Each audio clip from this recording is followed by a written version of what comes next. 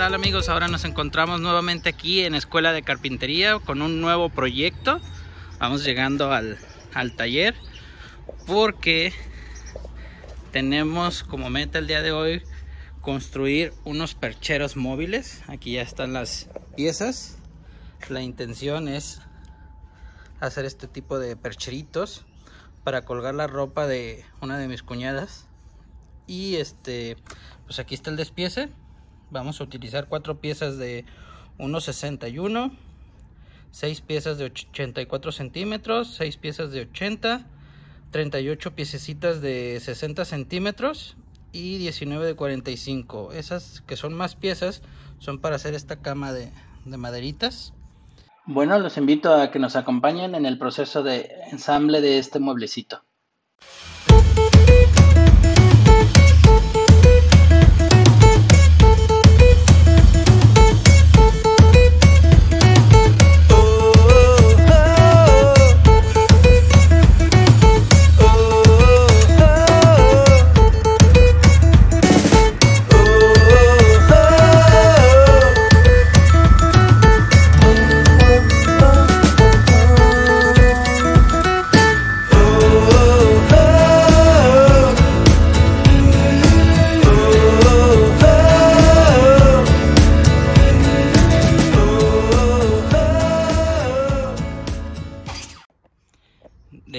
Tenemos ya todas las piezas. Son las seis piezas que ocupamos de 84 centímetros, seis piezas que ocupamos de 80 centímetros, las que van a ser más largas de 1,61 que van a ser como patas y las maderitas que van a quedar como este repisita.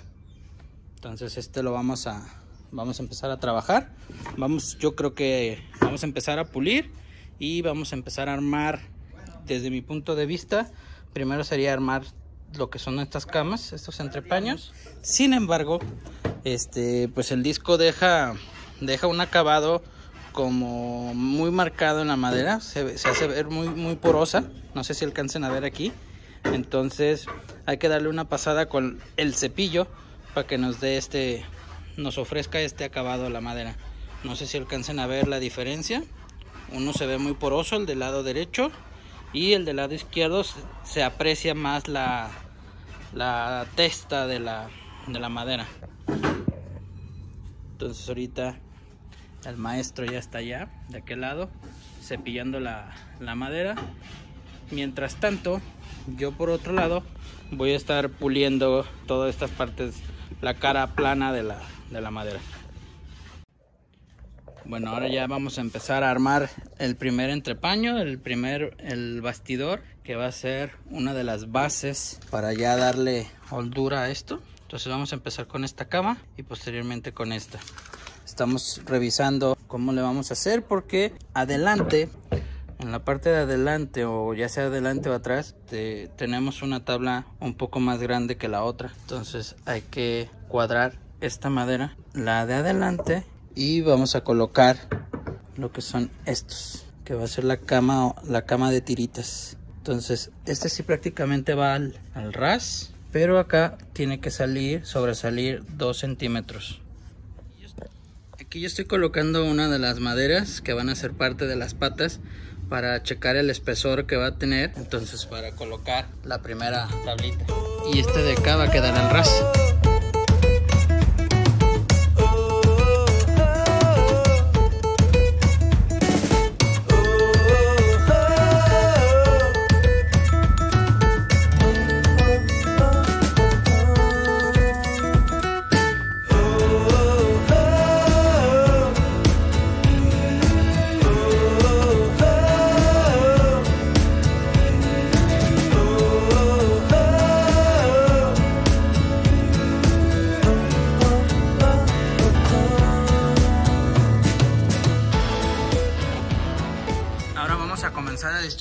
las demás varitas sobre toda la, la cama. Para que buscar que nos queden todas simétricas. Y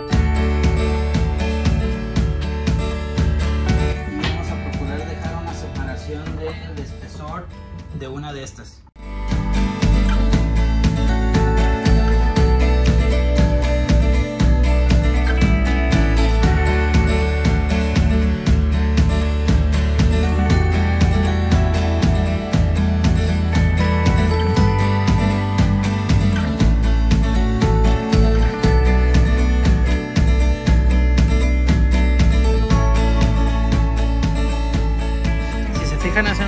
En la cámara rápida observamos que comenzamos de este lado con 7 tiras hacia acá y de este otro lado 7 tiras hacia acá.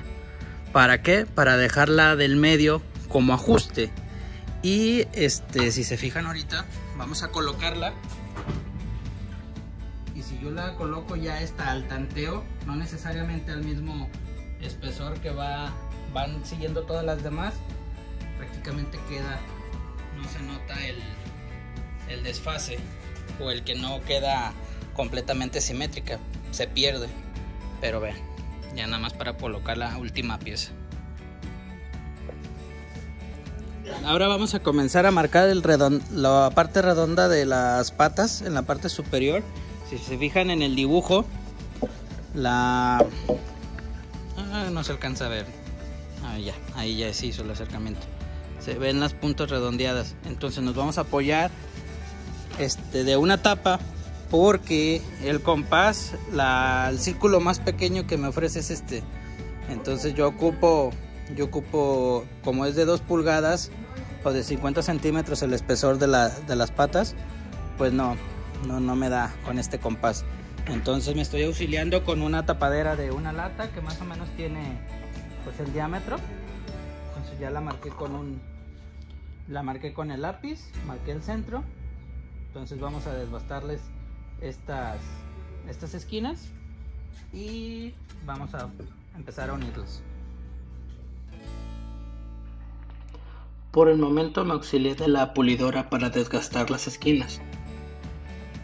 Sin embargo me di cuenta que el desgaste de la lijadora no era parejo, por lo que el maestro carpintero me comentó que sería más fácil que usara o que desgastara las puntas con la sierra cinta.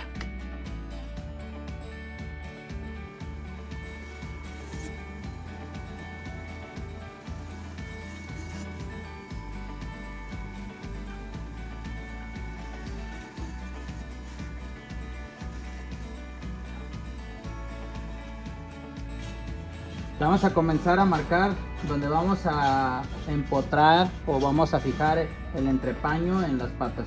Entonces yo prácticamente en la parte de, la cama o el entrepaño tiene 6 centímetros y medio más 10 centímetros que le quiero dejar separado del piso, del suelo. Entonces lo vamos a poner a 16 y media. Entonces estoy poniendo esta línea de referencia. Ahora con ayuda de una broca de paleta, como de este tipo que están viendo, de esta medida de 1 a un cuarto, vamos a hacerle nada más el orificio de la mitad del espesor de la madera para que empotre el palo y la otra la vamos a fijar directamente con una pija.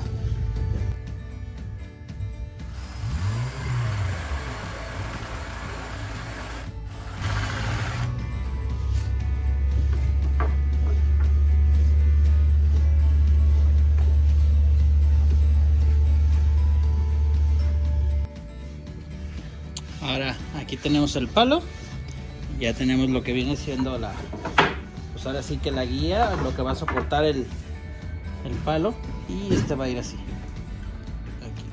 Ahora con ayuda de una broca con avellanador incluido vamos a hacerle el barreno del otro lado de la, a la otra madera con la que se va a sujetar el palo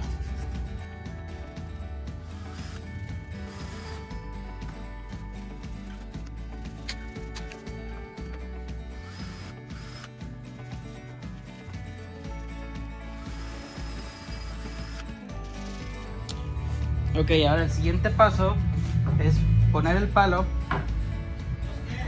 aquí. Asegurar que embone bien.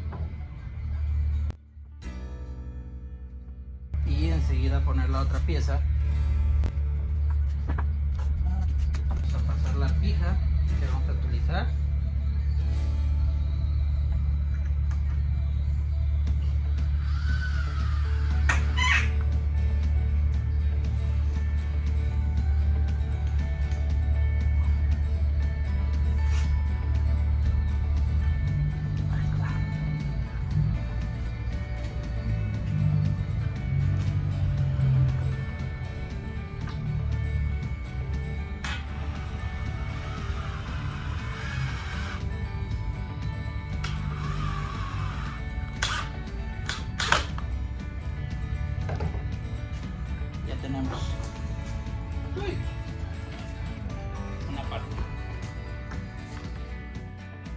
Ahora vamos a hacer lo mismo con el otro lado.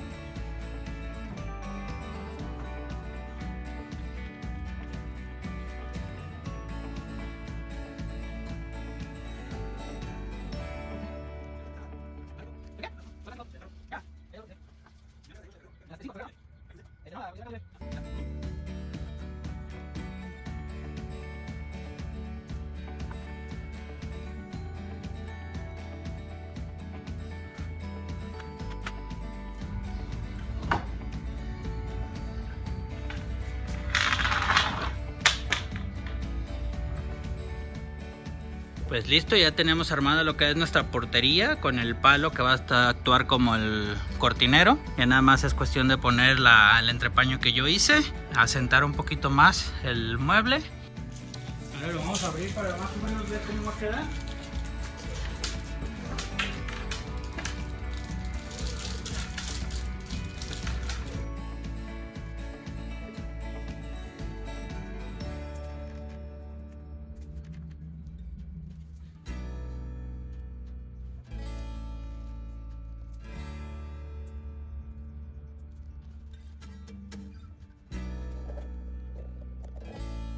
Pues bueno ya lo tenemos ahí abierto a la dimensión donde vamos a poner más o menos el entrepaño. Ahorita con ayuda voy a, a poner el primer este clavo aquí para fijarlo. Luego lo vamos a fijar aquí y luego lo vamos a fijar en las siguientes dos patas. Ok ahora vamos a proceder a fijar esa entrepaño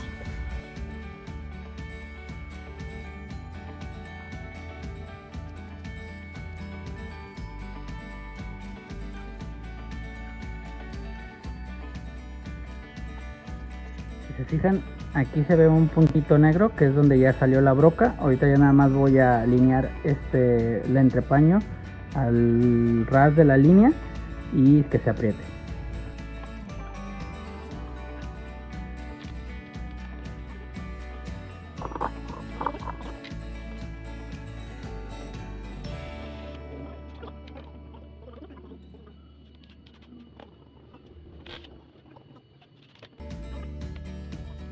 Ya quedó listo el primero. Vean. Se ve muy bien. Está macizo. Nos, nos quedó muy bien. Nos quedó muy bien. Y es el primero. El segundo qué es lo que va a cambiar del segundo a este a este que estamos viendo es que el segundo va a llevar un entrepaño aquí. Entonces ahorita vamos a proceder a hacerlo en chinga loca pues ya vamos a empezar con el otro perchero móvil. Vamos a aplicar prácticamente el mismo procedimiento que hicimos en el anterior. Estamos poniendo lo que va a ser la, la pata en el entrepaño más corto, luego el entrepaño más largo y estando poniendo como este como pata donde va a topar y vamos a poner el primer tablita del entrepaño. Recuerden que en cada tablita que estamos poniendo en entrepaño estamos poniendo una gotita de resistol blanco. Esto es para que tenga mejor firmeza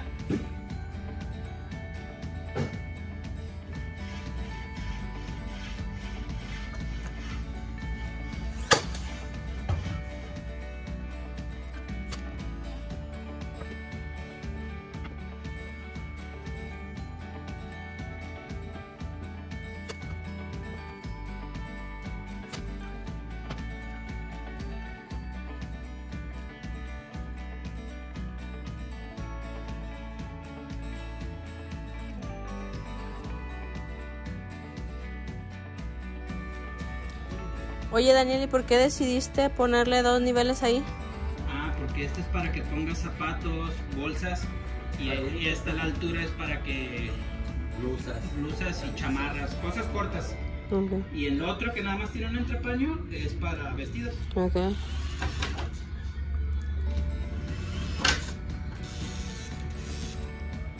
Pues ya están terminados ahora sí ya los percheros móviles. Digo móviles porque pues como están muy chiquitos pues los puedes transportar, ¿no? Pero miren, la idea ya está. Díganme ustedes qué, qué se parece. ¿Va o no va con, con lo que se proponía crear? Completamente madera sólida, 100% pino y hecho en un solo día. Está muy padre, ¿eh? me encanta, me encanta la carpintería.